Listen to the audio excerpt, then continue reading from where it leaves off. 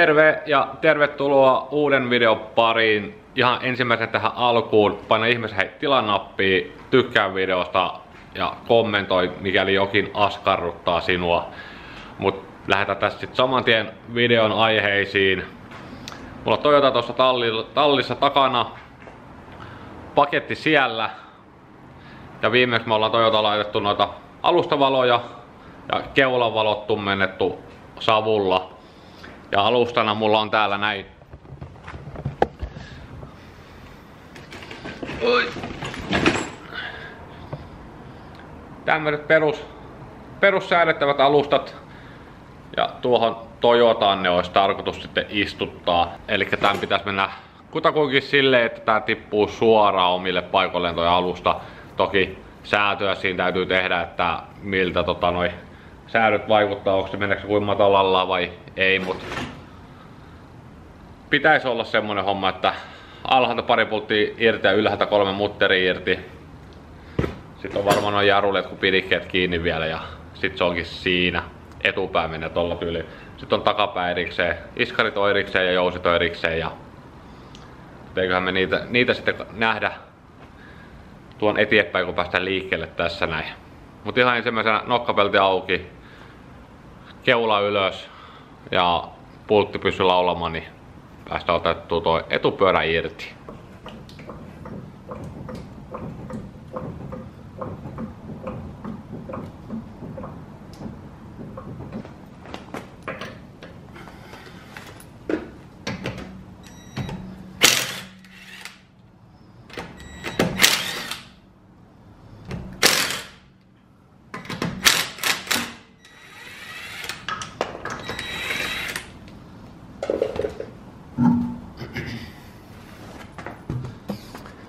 Siinä olisi pyörä pois. On muuten todella, todella huikea levyinen vanne. En tiedä tarkentaako se tohon noin millään konstilla.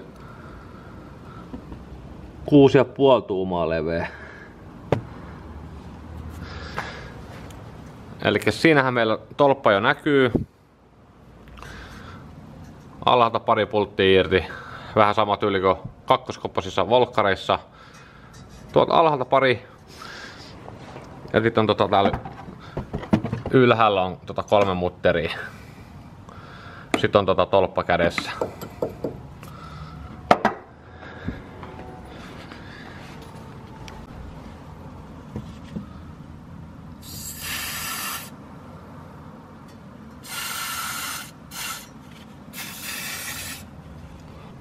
Ensimmäisenä mä tota avaan ton jarruletkun pidikkeen tuolta.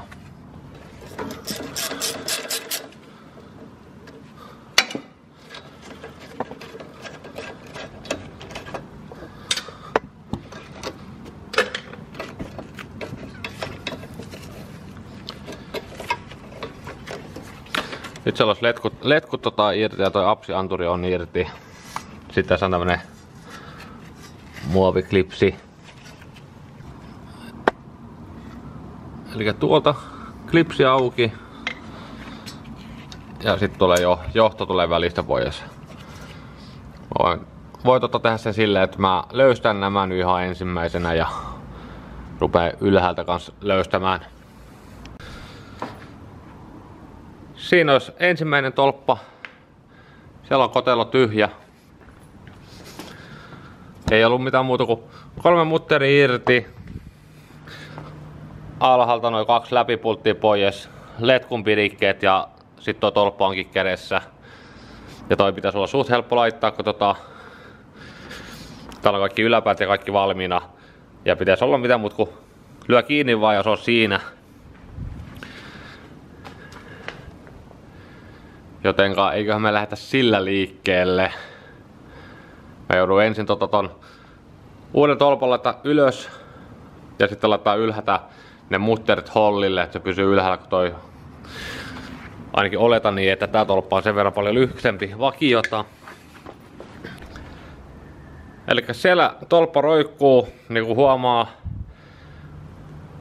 toi nap, olka-akseli napaa tätä hahloa tota, näin alhaalla, niin me joudutaan se pakettiin nostamaan sen verran ylös, että me saadaan noin pultit kiinni tuolta sitten.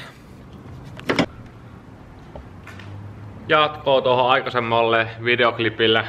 Multa loppus akku kamerasta. Ja sit tota, mä en päässyt kuvaamaan noita takapään laittoja.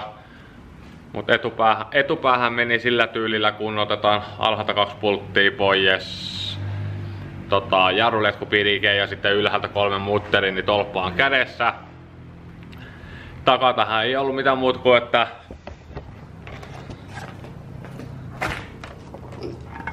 takana on tossa noin vanha orkkis takaiskari ja sitten on erillinen jousi sille vaan.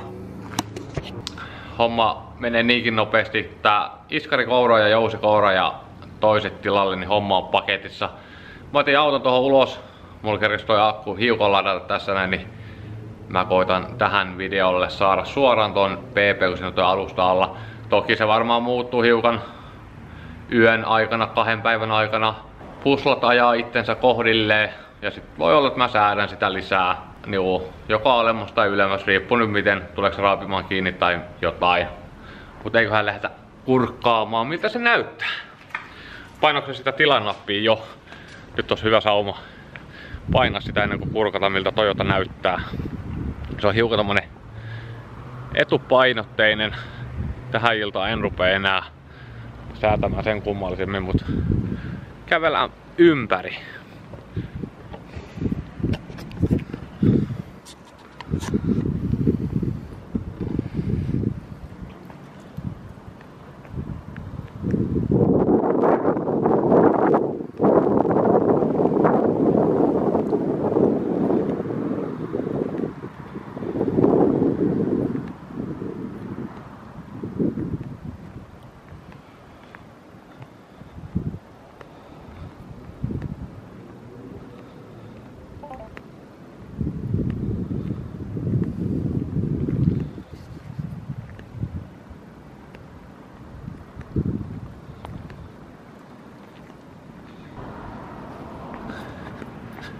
Eli varsinkin tästä etupään kulmassa sen näkee hyvin rengas rupeaa sukeltamaan kaaren sisälle, mutta tota, täällä takapäässä sitten taas ei. Mutta tosissaan täytyy katsoa, miten toi muuttuu toi alusta päivän kahden päivän aikana. Mutta ehdottomasti paljon paremman näköinen tolla tyylillä, mikä se nyt on. Toki olisi se kiva, kun se menisi vielä alemmaksi, mutta todennäköisesti ajettavuus kärsii sen verran paljon, että ei paranne, kun lapsia täytyy kuitenkin tollakin kuljettaa.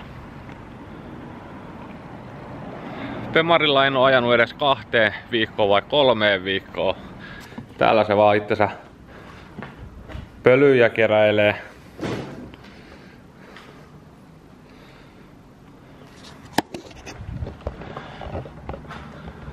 Mä koitin, ajatuksena oli se, että mä saan tähän näin oikein tehtyä semmoisen paremman, paremman klipin, jollain mä pystyn näyttämään miten tuo alustahomma menee, mutta eipä toisen kummallisempaa ollut. Suuret kiitokset, mikäli katsoit videon. Me palaamme seuraavan videon parissa. Se on morjens!